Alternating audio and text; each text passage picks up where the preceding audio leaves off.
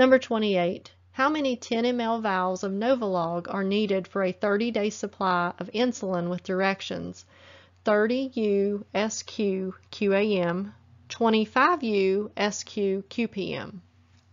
A. 1 vial, B. 2 vials, C. 3 vials, or D. 4 vials.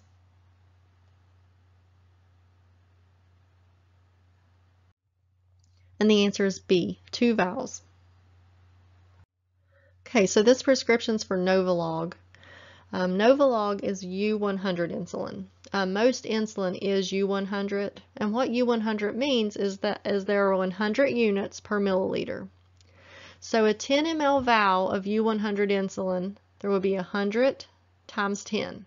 So 1,000 units are in a 10 ml vial of the U100 insulin. Um, the amount for one day, we need to calculate that. So um, 30 units subcutaneously every morning and 25 units subcutaneously every evening. So 30 plus 25, that would be a total of 55 units for one day. So now for 30 days, um, we would have 55 units times 30 days times 30.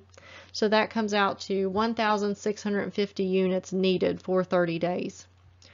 So now if we take, take 1,650 units divided by 1,000 units, that was the amount in a 10 ml vial, that gives us 1.65 vials. So we will round that up to two vials. So two vials will be needed for this prescription.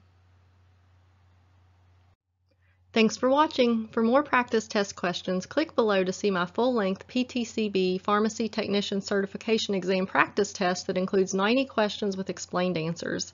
And if you find this video useful, please like and share it with others who may find it helpful too. Subscribe to see more of my pharmacy learning videos. And if you'd like to support this channel with a donation, press the heart thanks button to give me a super thanks. Thanks, I really appreciate it.